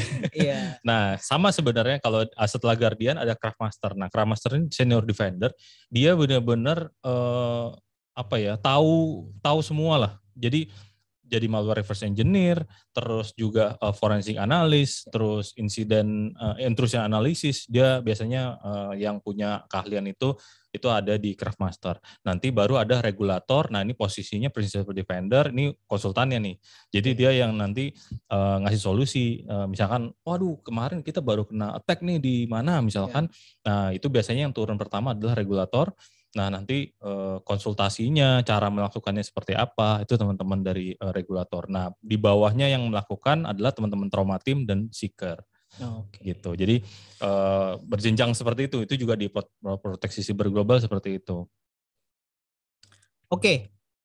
Sekian okay. dari kita berdua udah uh, selesai untuk selesai presentationnya. Mungkin sekarang tanya jawab ya. Ini sebenarnya di Iya, di di chat udah lumayan banyak nih yang yang iya. mau bertanya. Jadi mungkin kalau mau tanya uh, live dari panitia kali ya. Soalnya iya. uh, terkait dengan waktu ya. Iya, mungkin boleh dipilih gitu. aja atau kita aja yang milih. Gimana? Gimana Mas uh, Faisal? Mau kita yang milih atau Uh, boleh kalau misalnya mau langsung dibaca, boleh kalau misalnya mau saya bantu juga boleh. Oke, mungkin kita baca aja kali ya. Uh, boleh silahkan. Kita pilih. Ini ada yang menarik nih terkait uh, bank sentral nih. Oh ya, sorry. Uh, gimana gimana? Sorry mas, ini sampai jam berapa? Kalau ini ya, sampai biar jam 3. Jam 3. Oke, ada waktu setengah okay, jam ya? Masih ada waktu. Oke. Oke, hmm, permisi Kak, e, mau tanya, apakah blockchain merupakan bagian dari cybersecurity? Mungkinkah bank sentral mengimplementasi sistem blockchain yang terdesentralisasi? Nah, gimana nih? Gimana nih Kamari? Oke, sebentar tadi pertanyaannya dari dari okay. Mas Hector Juno. Blockchain merupakan bagian dari cybersecurity, mungkinkah bank sentral Oke, okay. blockchain itu teknologi, uh, mungkin bukan part of cybersecurity ya cuma di dalamnya juga pasti ada perimeter security. Yeah. Jadi itu blockchain teknologinya gitu kan. Mm-hmm. Nah, untuk bank sentral ini kita belum tahu ya, karena kemarin aja terakhir dari salah satu apa namanya uh, daerah gitu ya, itu mengharamkan kan yeah. untuk uh, cryptocurrency gitu kan. Yeah. Jadi kalau untuk ke depannya di sistem banking kita nggak tahu ya akan Eh, digunakan untuk apa? Mungkin kalau digunakan untuk cryptocurrency kita nggak tahu, tapi kalau blockchainnya sendiri digunakan untuk teknologi yang membantu verifikasi antar eh, data yang lain ya, mungkin bisa juga. Iya. Jadi sebenarnya memang uh, blockchain ini uh, kalau mau dibilang bagian dari cybersecurity, dia uh, part of tapi kan Hanya kalau integrity. Eh, uh, dia kan CIA itu kan eh di security itu kita ngomong CIA ya, confidentiality, integrity dan availability. Jadi uh, part of tapi um, hanya part integritinya. Integritinya aja. Iya, jadi dia bukan sebagai uh, pengaman. Eh dia pengaman cuman hanya memastikan bahwa uh, transaksi tidak dapat diubah. Iya. Gitu. Maksudnya setiap apa pun yang ada di dalam uh, blok itu gak bisa dimanipulasi gitu. Betul. Jadi dia part of satu sistem gitu. Bukan bukan bukan dia sistemnya tapi dia part of satu sistem gitu kalau mau diterapin di bank sangat sangat sangat bagus. bagus. Cuman ya ya itu masih ya, itu harus uh, riset lebih lanjut sih karena Betul. kan itu kalau di bank udah kompleks ya. Iya. Cara transaksional tuh udah kompleks banget, udah nyentuh beberapa pihak Betul. lagi untuk transaksi keluar dan lain-lain. Nah, mungkin nah, bedanya bank itu centralized, ya. sentralisasi, tersentralisasi sementara blockchain itu terdesentralisasi. Jadi bisa bisa dua uh, di, diterapkan. Sekarang sih masih nerapin yang bank ya, sentralisasinya. Iya. Oke, berikutnya mungkin Kamari bisa mau baca yang mana? Karena waktunya kayaknya masih banyak, kita dari atas kali. Ya. Oke, ini dari Binus Bekasi, Mas atau ya Jason Fiorenzo. bagaimana kita sebagai pengguna internet dapat menjaga data-data kita yang berada di internet untuk menghindari disalahgunakan. Terus bagaimana cara yang paling efisien untuk kita dapat meningkatkan cyber security pada gadget-gadget yang kita gunakan. Oke, mungkin ini uh, biar kita aman gitu ya. Iya. Mungkin pertanyaan kalau yang pertama ya, biar nggak salah disalahgunakan. Pertama ya teman-teman sebetulnya uh, harus sadar teman-teman itu input data di website apa satu. Ya. Jangan sembarang input data ya. Walaupun itu hanya misalkan alamat, terus itu cuma uh, nama asli, nama nama depan, nama belakang gitu. Ya. Kadang juga saya kalau input nama bisa aja namanya sama orang lain bukan nama saya gitu. Kalau emang itu aplikasinya nggak nggak begitu bukan aplikasi primary atau mandatory buat pribadi lah. Ya. Tapi kan kalau untuk uh, banking gitu ya udah pasti harus verifikasi lebih lanjut kan ada Tuh uh, orang tua dan lain-lain. Cuma ya itulah. Kalau biar nggak disalahgunakan sih uh, lihat profil aplikasinya. Ini aplikasi apa gitu. Betul. Jangan sampai kita ngasih data kita uh, terlalu jelas gitu. Misalkan kayak login di forum ya nggak usah lah pakai yeah. data asli gitu kan. Uh, misalkan log login di e-commerce juga sebetulnya kalau kita nggak mau transaksi cuma mau lihat-lihat aja juga nggak perlu. Ya betul. Gitu. Karena banyak juga ya uh, dari hasil ya beberapa tahun terakhir um, common praktisnya kan kalau taruh di data di database harus di encrypt kan isinya. Uh, ya. isinya harus di encrypt kalau di kita naruh. Cuman ya beberapa kasus ada yang kita temuin nggak di encrypt jadi iya. itu yang uh, kadang kadang kita pun ya udah udah yakin kayaknya udah bener nih gitu. Eh ternyata dia kena hack. Kayak ya. kayak kemarin ya kita nggak bisa Mungkin nyalahin ada, juga. yang nanya juga nih. Uh, yang, yang mana tuh? Yang itu ada nanti ya itu kayaknya tadi udah ngeliat tuh pertanyaan okay. yang datanya bridge. Oke, okay. tapi itu ada pertanyaan juga tuh yang tadi yang nanya yang sama Mas Jose tuh eh Jason mau tanya yang apa cyber security di gadget. Nah, okay, biasanya kalau di gadget, gimana tuh?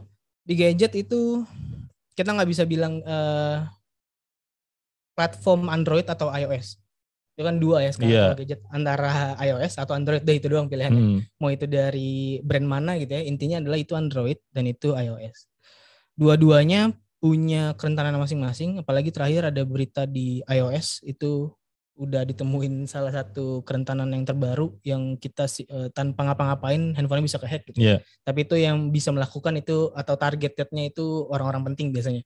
Cuma di berita udah bisa dilihat tuh. Uh, kemarin udah keluar beritanya. Nah, uh, untuk proteksi sebetulnya yang pertama untuk aplikasi yang kita pakai jangan sampai download di luar Play Store Store-nya. dan App Store. Uh, store resmi ya. Store resmi. Jangan sampai kalau kita mau main game mau kita downloadnya yang ada cheatnya. Itu kan pasti downloadnya nggak dari Play Store. Betul. Itu sampai itu. Itu kita nggak tahu ya aplikasinya di embed dengan malware kah gitu.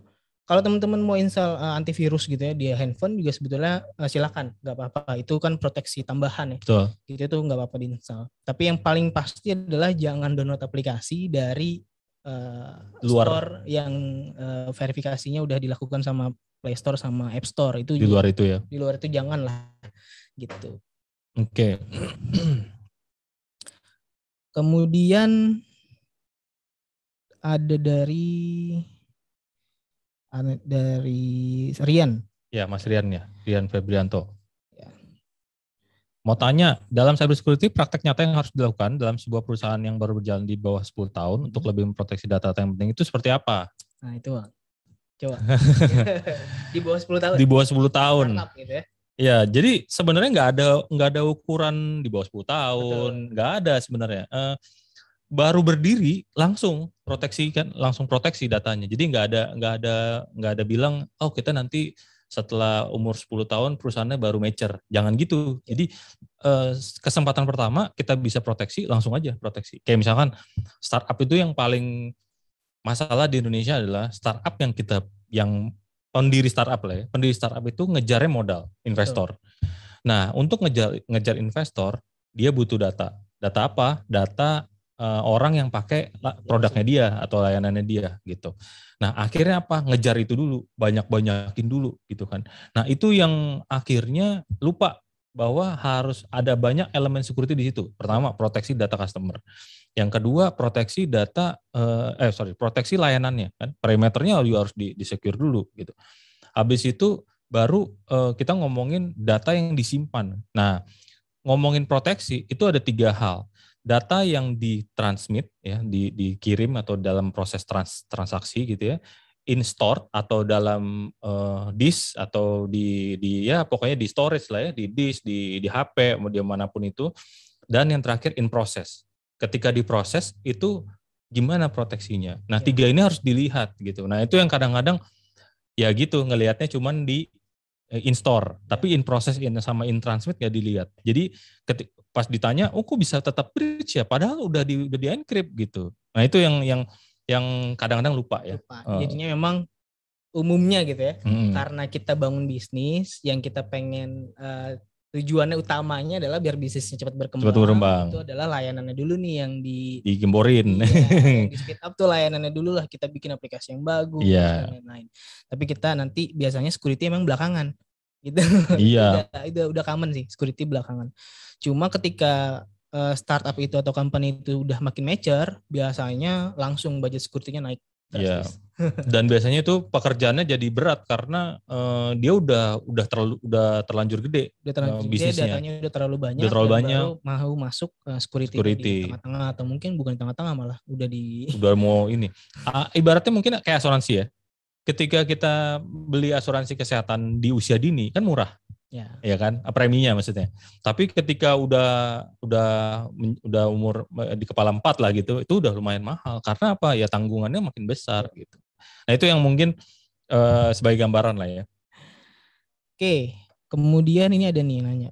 Apakah ofensif selalu meninggalkan jejak setelah melakukan hacking? Dan jika iya jejaknya itu dalam bentuk apa? Kalau oh. ninggalin jejak pasti ninggalin jejak. Pasti. Pasti.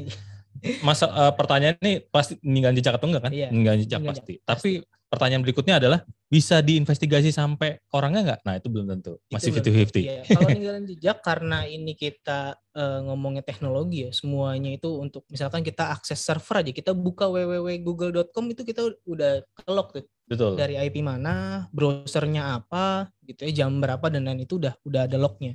Dan untuk kalau ditanyanya hanya meninggalkan jejak, udah pasti meninggalkan jejak gitu. Tapi sumbernya ya misalkan dia pakai IP source-nya dari mana menggunakan VPN dan lain-lain.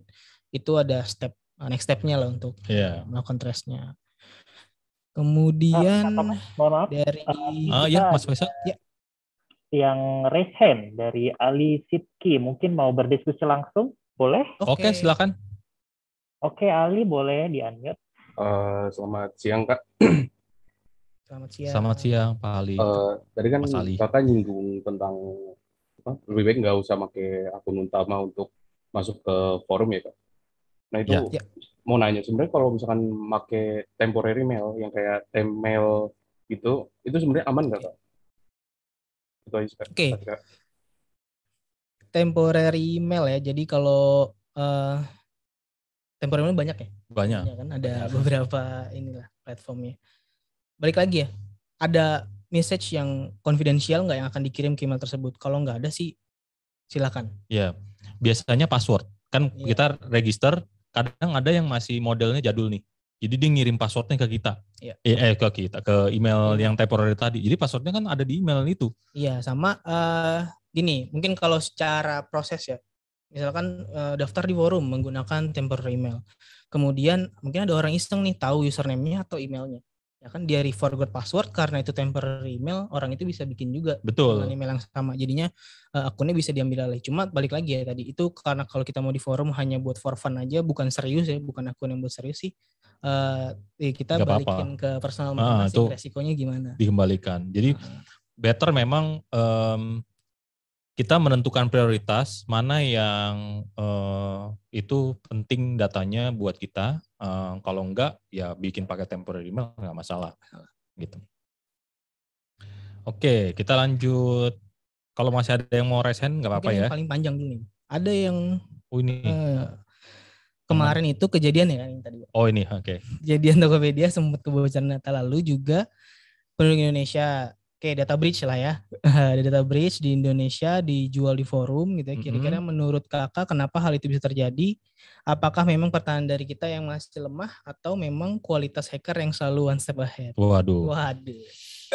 Kalau kayak gini, um, Jadi attacker itu atau hacker ya, eh, kita jangan nyebut hacker lah. Hacker soalnya terlalu konotasinya uh, negatif gitu. Iya, padahal sebenarnya hacker itu adalah orang yang seneng seneng ngoprek aja gitu buat nyari solusi. Oke, kita nyebutnya attacker aja. Attacker itu bisa bisa banyak ya, nggak cuman dari orang luar.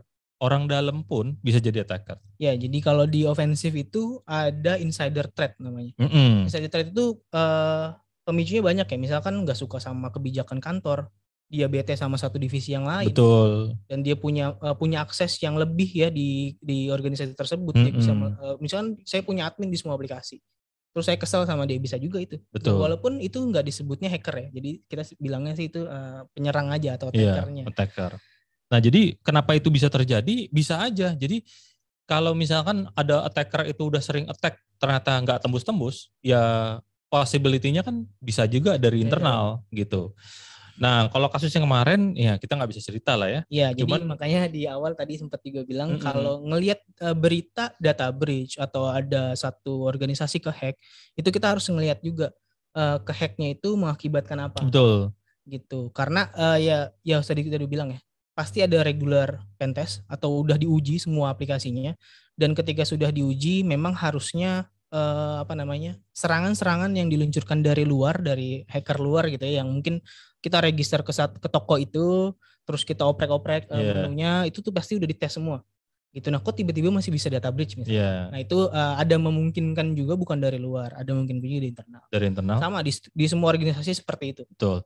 Kalau nggak internal ada yang sebutannya supply chain attack. Supply jadi attack. Nah ini dari udah, pihak ketiga iya. penyedia jasa. Maksudnya kayak kita. Kita kan kita kan vendor penyedia jasa nih mungkin bukan penyedia jasa uh, kita kita sebagai attacker ya terus jadi rock gitu ya jadi jahat. Iya. uh, tapi mungkin juga itu itu, itu sangat mungkin. Mungkin kalau di cyber security yang lebih kalau cerita serem gitu ya udah udah cyber war. Iya, cyber. Ada namanya advanced persistent threat. Jadi itu uh, ancaman yang sangat advance gitu sampai kalau pernah dengar cerita ada kita salah satu organisasi bikin uh, satu uh, apa namanya pengadaan gitu ya. Dia mau beli satu perangkat dan kemudian yang ikut pengadaan itu sengaja bikin perusahaan dan bikin produknya itu uh, yang diminta sama organisasi itu di ini ya di supply gitu. Di supply. Nah, ketika di supply itu barangnya sudah diembed sama malware. Yeah. Sampai segitunya gitu. Karena itu yang udah cyber war dan itu udah kejadian gitu dan oh, itu akhirnya, banyak. Akhirnya data-data yang menggunakan atau lewat dari device atau perangkat itu bisa ditarik bisa semua. diambil semua. Gitu itu nama uh, ada sebutannya supply chain attack. Iya. Udah sampai sejauh itulah nanti kalau ini kita ya itu ya itu mungkin topik lain lah ya. Itu banyak cyber war yang bisa kita ceritain, cyber threat intelligence dan cyber intelligence juga banyak sebenarnya kejadian di Indonesia dan di luar. Oke, berikutnya uh, gimana pandangan kakak terkait cyber security di masa depan? Bagaimana caranya agar kita bisa meningkatkan tingkat cyber security atau komunikasi kita yang minim terbatas atau keluaran tahun-tahun lama? Hmm, Iya. Iya jadi eh, gimana Kak Mari? kalau alat komunikasi kita yang minim atau terbatas keluaran tahun-tahun lama itu juga uh, jadi ini ya. Apalagi kalau di uh, perangkatnya orang tua kita gitu kan pasti yang jadul-jadul. Iya. Dan ya serem-serem lah kalau udah jadul nggak pernah diupdate udah banyak kerentanan yang dipublish gitu ya siapa aja bisa melakukan serangan mm -hmm uh, balik lagi sih sebetulnya kita sebagai orang yang paham di security gitu kita paham nih sebetulnya ya kita sebisa mungkin kasih kesadaran atau awareness ke mereka yang kurang paham. Betul. Gitu. Walaupun device mereka tadi ya, ini device-nya udah jadul banget nih gitu, pasti security-nya nggak diupdate. Iya. Yeah. Tapi ada prevention lain atau pencegahan lain biar uh, mungkin virus nggak masuk. Iya. Yeah. Gitu. Dengan awareness ya. Dengan awareness, hmm. dengan kesadaran gitu. Jadinya uh, kalau kita mungkin belum belum bisa buat beli gadget baru gitu ya, yeah. kesadarannya dulu yang di uh, perkuat. Di bawahnya ini ada, nah ini, nah ini oh. berarti ngikutin tren cyber security. Ngikutin ini. berita nih. Ngikutin berita. Karena uh, ini tadi dibilang ada kerentanan baru, baru banget keluar dan ini impactnya sangat tinggi karena ini uh, kerentanan adanya di, di Java ya, sebutannya Log4j atau di servisnya Log4j itu pandangannya adalah itu sangat kritikal sih. Ya, dan ya bikin orang IT security nggak tidur sih ini. Uh, iya itu di beberapa end user ya, tapi kalau vendor sih bisa tidur sih. Karena vendor kan cuma assessment ya. Iya kita assessment. Jadi, tapi kalau di kita uh, requestnya adalah untuk melakukan validasi terhadap kerentanan ini. Iya. Kita ada pekerjaan di mana kita benar-benar khusus melakukan eksploitasi atau melakukan hacking dengan vulnerability log4j gitu. Kita disuruh nyari ini kena log4j atau enggak, uh, aplikasi ini kena atau enggak. Nah itu di kalau di vendor kayak gitu. Tapi kalau di uh, mungkin di end user, nah itu mantengin log tuh. Ada nggak yang exploit dengan log uh, log4j yeah. itu gitu. Nah, soalnya ketika ini mungkin sama kayak ransomware WannaCry di tahun lalu ya, yang udah kemarin, yang sampai ATM pun kena gitu kan. Yeah. Nah, ini sama. Ketika ada vulnerability baru yang muncul ya secara publik, maka orang di luar sana berlomba-lomba bikin malwarenya. Pasti. Ini bentar lagi akan ada malware nih. Iya. Jadi malware yang menggunakan atau memanfaatkan kerentanan ini. Itu udah pasti Udah akan pasti. ada dan itu malware tuh kita sebutnya gini kenapa kok tiba-tiba dia kena? Iya. gitu karena mungkin kalau secara gambaran singkat gitu ya uh, setiap aplikasi itu kan uh, ada alamatnya. Kemudian alamat itu uh, mungkin kalau yang anak IT tahu ya uh, domain dan ada resolve ke alamat IP Betul. gitu. Nah malware malware ini melakukan scanning. Gitu melakukan uh, scanning ke semua uh, IP yang ada di mungkin internasional semua. dunia. Dunia gitu ya. Semua IP itu di scan kemudian dikirimin sama uh, vulnerability log4j tadi. Kalau ada yang kena udah. Dia langsung yeah. uh, ada alertnya. Nah, ini kena nih. IP ini kena IP ini kena IP ini kena. Nah itu uh, cara kerja malware secara uh, singkat untuk distributnya seperti itu. Oke. Okay. oke. Okay. itu ada yang tanya di DOS tuh bang Oke, okay. uh, kayaknya udah 15 menit lagi ya. Jadi kita, kita mungkin pilih. kita pilih ya. Oke, okay, uh, pertanyaan di DOS, uh, gimana cara nanganin di DOS? Itu uh, sebenarnya kalau tergantung nih di DOS tuh banyak di DOS ya kita nyebutnya di DOS. Oke, okay, di DOS berarti lebih ke network uh, distributed uh, denial of service berarti pakai network terhadap uh, berarti ini konteksnya uh, attack ke aplikasi atau network membanjiri paket lah ya kita nyebutnya um, gimana cara nanganinnya? Uh, ada banyak sih. Uh, cuman memang um, apa ya implementasinya agak agak mahal. Jadi gini uh, DOS itu kalau nggak bisa di, diakses service nggak bisa diakses itu udah DOS. Nggak usah kita ngomongin kita kasih banjirin paket apa dan lain-lain. Kita matiin aja servisnya itu udah DOS sebenarnya. Maksudnya matiin manual gitu ya.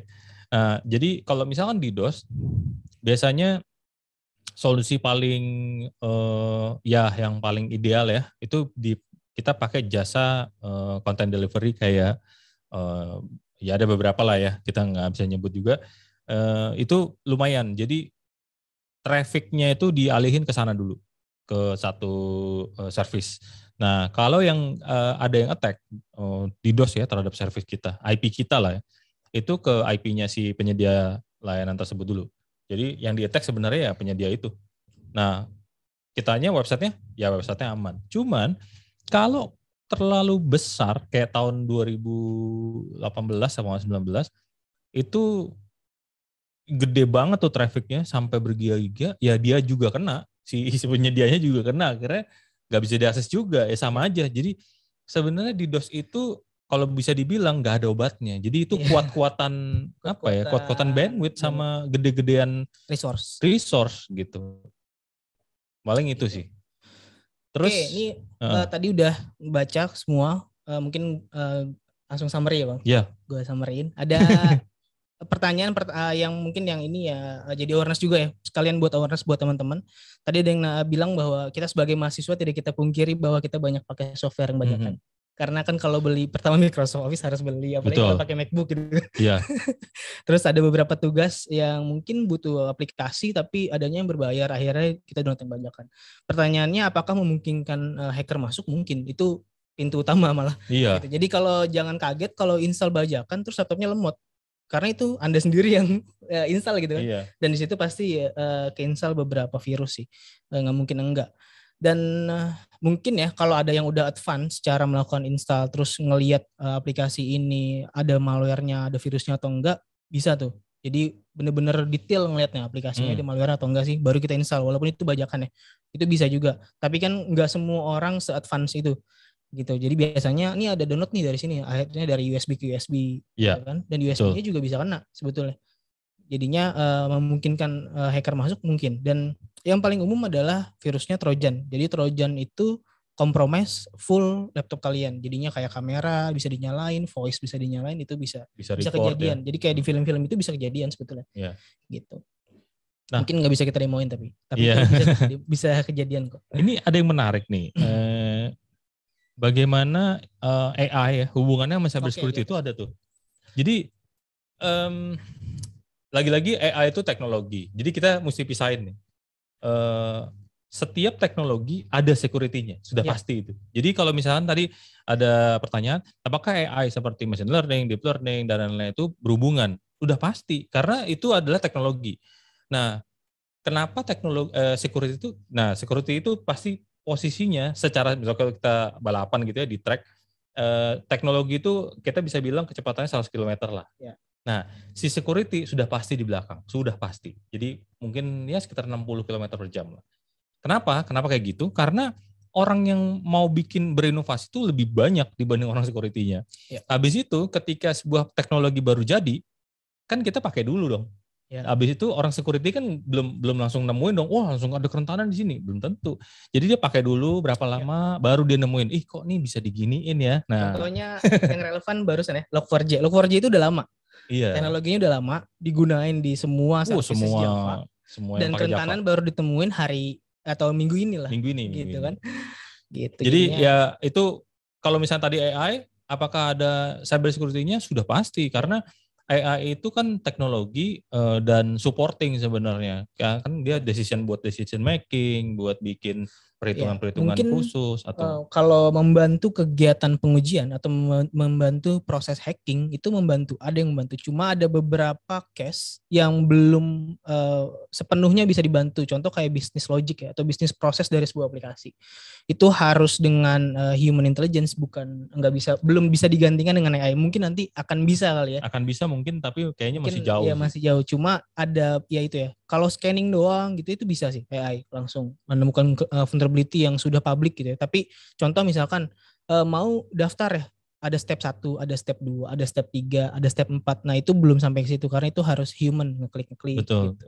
Karena menurut riset otak kita belum bisa direplicate jadi sebuah eh, power yang benar-benar tinggi sesuai dengan eh, otak kita gitu. Misalnya ada Iya, teknologi iya. yang bisa gantiin Iya. dengan persis gitu kan. Karena buat kayak gitu berarti eh, mesinnya akan learning berapa berapa tera Betul. itu Jadi kalau secara teknis itu machine learning di belakangnya itu butuh resource yang sangat besar. besar sekali gitu. Sampai Jadi bisa jadi uh, suatu atau yang sesuatu yang automated gitu ya. Itu Iya. butuh resource yang sangat besar. nah ini ada pertanyaan menarik juga nih. Oke, eh, sorry Kak Thomas mau Ya, Mas eh, Faisal. sedikit boleh ya ada pertanyaan dari YouTube soalnya. 5 menit lagi kalau. Iya, Oke, dari coba mana? saya bacain ya dari YouTube. Ya. Ini dari eh, Julius Johan. Halo, selamat siang Kak. Saya ingin izin bertanya, eh, kenapa lebih mudah mendapat akses root di smartphone dibandingkan dengan akses root di PC? Terima kasih. Oh, oke. Nah, Oke, silakan Ini maksud Kamari. akses root biasanya di di handphone gitu ya, Android atau iOS itu terkait dengan jailbreak dan rooted device gitu. Iya. Kalau di sebetulnya malah di PC di maksudnya kalau di server ya, server Linux, Windows sama aja. Bisa juga dan maksudnya level kemudahannya sih eh, sama gitu ya. Mungkin eh, caranya aja yang Pendekatannya beda. ya. pendekatannya beda gitu kan kalau di kalau di apa namanya handphone itu kan kita udah punya nih modulnya kalau mau buat ngerut handphone pakai apa terus kalau di iOS juga pakai apa buat jailbreaknya ya mungkin kalau jailbreak versi sekian belum ada gitu ya buat rootnya nanti akan ada sama di eh, OS juga gitu operating system Linux Windows juga gitu mungkin kalau mau nyari keywordnya bukan root gitu ya mungkin keywordnya privilege escalation Iya, betul. Itu lebih jadi tepat. kalau mau belajar cari-cari resource berarti bisa uh, searching kalau di sistem operasi itu privilege escalation uh, di Linux atau privilege escalation di Windows. Oke. Mungkin gitu ya secara teknis. Ya, nah ini ada dari Mas Rian Dwi Taman ini menarik sebenarnya. Eh, sama Mas Robi Heriawan kan berhubungan sih. Eh, saya rasa minat orang Indonesia terhadap cyber security sudah cukup tinggi, hanya saja terputus pada akses materi, sangat sedikit kurikulum materi atau learning path yang bisa dijadikan patokan pada saat belajar cyber security. Pertanyaan saya bagaimana hal itu bisa terjadi, melihat kebutuhan yang terus meningkat dan bagaimana cara memperbaikinya. Nah, Mas Robi Heriawan bertanya juga, menanyakan cyber security itu bisa jadi aspek penting nggak saat ini dan seberapa efektif cara kerja di masa sekarang. Nah ini kan eh, jadi gini, uh, bukan nggak bukan uh, materinya nggak ada, materinya banyak banget. Masalahnya kadang kita di Indonesia ini um, akses internet kali ya. Akses internet nggak iya. nggak mungkin yang di daerah itu agak kesulitan. Kalau yang tinggal di Jakarta, saya rasa nggak ada masalah kecuali memang um, um, language bisa juga sih. Iya bahasa juga ya. Um, tapi kalau teman-teman binusian sih harusnya no no issue ya dengan bahasa karena mungkin penyampaian beberapa materi dalam bahasa Inggris.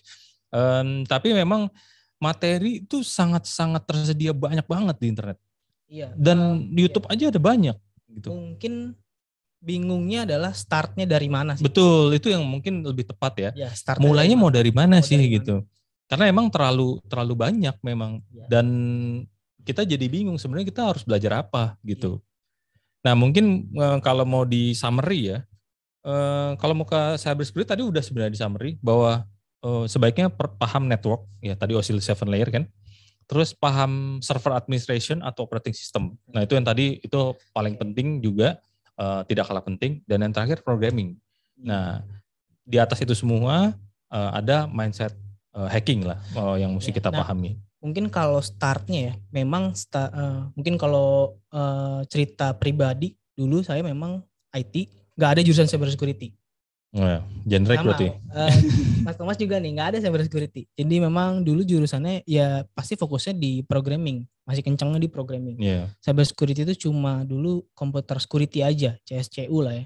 Itu basic banget, itu cuma belajar cara ngamanin laptop kita, antivirus dan lain, cuma itu aja. Awareness. Nah, mulainya itu memang langsung uh, cara hacking. Pertama kalau saya cara hacking WiFi. Startnya dari situ. Ternyata WiFi itu bisa dihack dengan metodologi apa, caranya apa aja dan polanya seperti apa. Jadi kalau WiFi itu sebetulnya udah pattern sih. Gitu-gitu aja lah. Kalau ngehack WiFi itu pasti gitu-gitu aja. Belajar dari situ udah udah udah paham nih komen-komen Linux dan lain-lain baru cara hacking website. Gak usah langsung yang advance-advance gitu ya. Cara hacking WordPress aja dulu gimana. Yang sederhana dulu. Yang sederhana dulu gitu. Dari situ akhirnya kita udah paham nih, oh pola hacking tuh seperti ini. Gitu. Contoh tadi, dari web aplikasi kita bisa ambil kompromis servernya nggak? Betul. Gitu. Dari aplikasi nih, kita nggak punya akses misalkan uh, username password server kita nggak punya, tapi kita bisa ambil. Uh, kita bisa masuk, kita bisa login, kita bisa ambil datanya di dalam server. Gitu. Via itu, aplikasi. Via aplikasi, melalui aplikasinya itu belajar dari situ.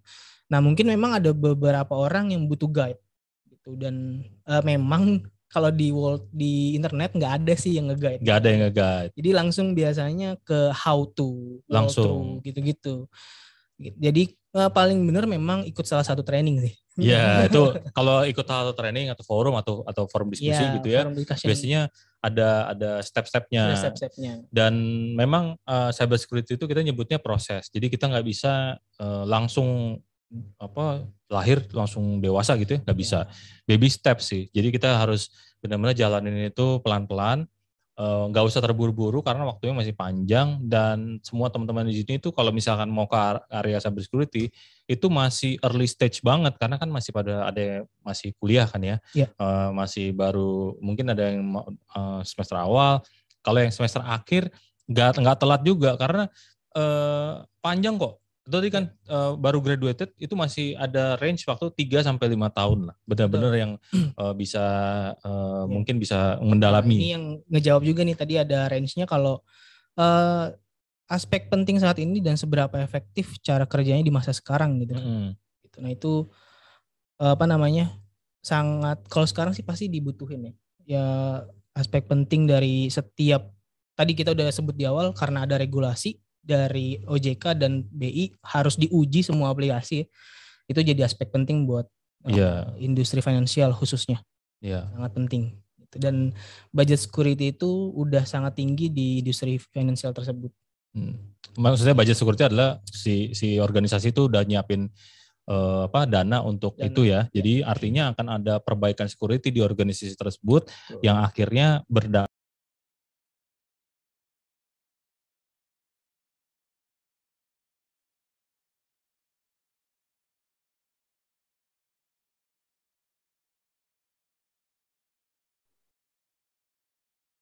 Oke, uh, sepertinya telah terjadi kesalahan teknis.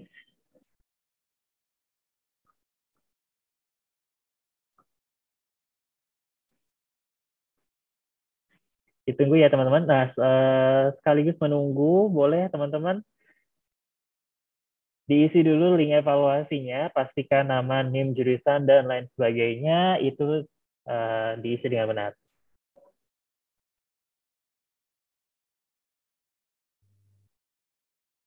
Oke. Okay. Halo, uh, tadi putus ya? Sempat disconnect tadi. Iya. Uh, mungkin tadi uh, nggak tersampaikan ya. Um, kita tadi kalau mau diskusi lebih lanjut bisa di uh, Hack, Hack Trace Range itu kalau nanti daftar di dalamnya ada Discord. Jadi kalau mau diskusi di situ juga bisa. Terus uh, mungkin itu aja kali ya. Nanti ya. Uh, kita kembalikan ke Mas Faisal. Oke, okay, thank you uh, Kak Thomas dan Kak Mary atas uh, pemaparan materinya wah seru banget nih teman-teman Binusian banyak yang tertarik dengan cyber security ya. Dan teman-teman Binusian juga uh, di layar masing-masing ini sudah ada link evaluasi dan juga di kolom chat juga sudah ada link evaluasi. Boleh silakan diisi dan pastikan nama, NIM, jurusan dan lain sebagainya itu uh, tertera dengan benar. Dan kemudian ini kita ada delapan penanya terbaik uh, yang mendapatkan imani boleh saya bacakan ya teman-teman. Ini ada yang pertama ada Hector Juno, kemudian ada William Christopher Wijaya, ada Jeremy Surya Ongko, ada Rian Febrianto Saputra, Muhammad Ilham R, Renaldi Analut Tetra Sakti, Calvin dan Edwin Aryo Abdi Wijaya. Dan teman-teman yang namanya saya sebutkan tersebut, silakan mengisi data diri di link yang sudah disampaikan oleh Kak Ajeng di kolom chat. Oke, okay. you're welcome Rian. Thank you sudah hadir.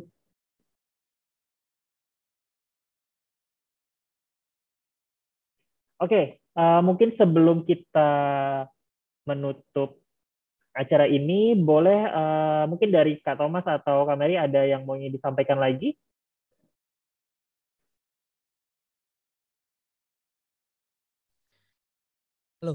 Ya. ya. Oke. Okay. Uh, eh, mungkin uh, close statement kali ya, Bang. Iya. Yeah. Karena ini judulnya di Journey uh, and Career in Cybersecurity. Uh, yang pertama tadi uh, kita udah ngasih uh, link hacktrace-range.id dan di situ ada forum uh, di Discord. Kalau teman-teman uh, mau nanya diskusi bisa via Discord. Uh, sebisa mungkin kita akan replay sesibuk uh, mungkin selowong waktu kita. Yeah gitu akan kita reply untuk setiap pertanyaan. Kemudian uh, dari kita paling uh, jangan takut untuk masuk ke dunia cyber security dan harus try harder. Iya, gitu. harus try harder dan tetap semangat karena eh, cyber security masa depannya sangat cerah kok. Iya, Bukan iya, teman-teman nggak harus kerja di Indonesia, bisa juga bisa di luar, di luar karena iya. di luar juga masih banyak kekurangan yang tadi kita kasih uh, kita uh. kasih lihat di US itu masih banyak apalagi di Betul. Asia di Asia Asia Tenggara tuh lumayan sih banyak yang iya. yang butuh juga selain Indonesia. Paling itu aja uh, dari kami. Uh, terima kasih banyak nih udah dikasih kesempatan iya. kita diskusi, sharing-sharing terkait cyber security dan hubungannya dengan karirnya ya, uh, terutama teman-teman binus yang mungkin masa depannya akan berkarir di cyber security. Itu aja. Terima kasih banyak. Ya, terima kasih kami. banyak untuk partisipasinya teman-teman uh, mahasiswa mahasiswi dari BINUS. Oke, okay, hmm, thank you Kak Thomas dan Kak Mary. Mungkin kita boleh foto bersama terlebih dahulu ya. Oke. Okay. Boleh dong. Teman-teman Binusian boleh uh, open cam-nya. Kita mau lihat nih. Karena ini kebetulan sesi terakhir juga ya. Saya baru sadar kalau ini sesi terakhir. Okay. Dan sampai jumpa lagi nanti di uh, karir uh, seminar online tahun depan ya. Tahun 2022 wah nggak terasa nih 2021 sudah sampai di akhir. Oke, boleh silahkan teman-teman Binusian yang masih uh, mencoba untuk membuka kameranya, silahkan sebelum kita take a picture. Nah, itu banyak nih yang buka nih. Semangat loh yang tadi dengerin. Seru banget nih kayaknya teman-teman banyak yang nanya nih. Oke, Kak Ajeng boleh pandu. Oke, sebentar ya. Oke, siap. Satu, dua, tiga. Satu, dua, tiga. Ada lagi yang mau buka kamera? Satu, dua, tiga. Oke deh, sudah. Oke, terima kasih Kak Ajeng dan terima kasih sekali lagi kami ucapkan kepada uh, Sentera yang sudah hadir uh, dan memberikan um, materinya yang sangat uh, menarik sekali nih buat teman-teman Binusian karena dari tadi saya lihat banyak yang bertanya dan pertanyaannya tuh lumayan berat-berat ya. Jadi uh, ini pasti teman-teman Binusian tertarik banget nih tentang soal cyber security. Semoga apa yang disampaikan oleh kakak kita pada siang hari ini dapat memberikan manfaat dan juga motivasi untuk teman-teman Binusian uh, ke depannya dan nanti semakin siap lagi memasuki dunia kerja. Oke. Dan terima kasih juga untuk teman-teman Binusian yang sudah hadir dari awal sampai akhir acara dan mungkin teman-teman sebelumnya juga sudah hadir nih di seminar-seminar yang sebelumnya di sesi-sesi sebelumnya di hari kemarin ya dari kemarin dari Kamis terima kasih sekali lagi buat teman-teman yang sudah terus mendukung kita dan tunggu uh, informasi dari kita lagi ya uh, tentang seminar-seminar berikutnya di tahun depan. Uh, pastikan teman-teman uh, selalu follow Instagramnya uh, Career Development dan juga Instagramnya GC Business Alphabet. Dan juga tadi sudah disampaikan oleh uh, Kak Thomas dan Kak Mary tentang Hacktrace ya. Tadi sudah disampaikan ada hacktrace-range.id ya kalau nggak salah ya. Nanti mungkin uh, kakak-kakak dari Skentera boleh uh, tulis di kolom chat supaya teman-teman bisa langsung um, klik gitu. Oh, Oke, okay, jadi ada Discord-nya juga, teman-teman bisa langsung uh, join ya Discord-nya. Teman-teman pasti pada punya Discord dong, soalnya banyak yang teman-teman gamer ataupun yang uh, suka join di community-community pasti punya Discord. Oke, terima kasih uh, sekali kami ucapkan dan sampai jumpa lagi teman-teman Binusian. Nah, ini sudah diinfokan ya oleh Kak Maria, itu di iya. hacktrace-range.id. Silakan teman-teman. Dan sampai jumpa lagi di acara berikutnya. Bye-bye. Thank you. Have a nice day. Terima kasih Pak Thank you. Kak Mari, Kak Thomas. Terima kasih. Sama. Ya, terima kasih. Pak Faisal, Bu Ajeng. Iya, terima kasih Pak Dedi. Thank you. Bu Ira, Bu Ira nggak kelihatan nih. Halo Pak Dedi, salam kenal. Thank you ya Pak Dedi, moga nextnya bisa sering-sering ya jadi speaker. Oh iya ya Bu, pasti Bu, dengan senang hati.